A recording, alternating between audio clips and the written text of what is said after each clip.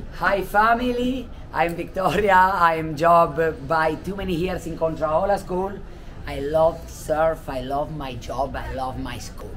I love this sport because it's sustainable and is very, very important for, for the people understand that.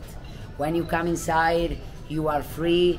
Is one moment you are alone with your board, with your wetsuit, but we don't put petrol, we don't put a plastic.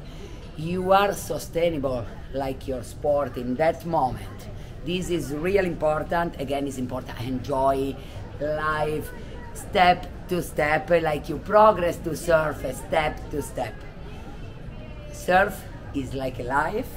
I love my job. I love to surf. I love come everywhere, and when I'm come, I love see water clean. I love and respect. Respect the ocean. Respect everyone. Respect everywhere you come, and respect the life.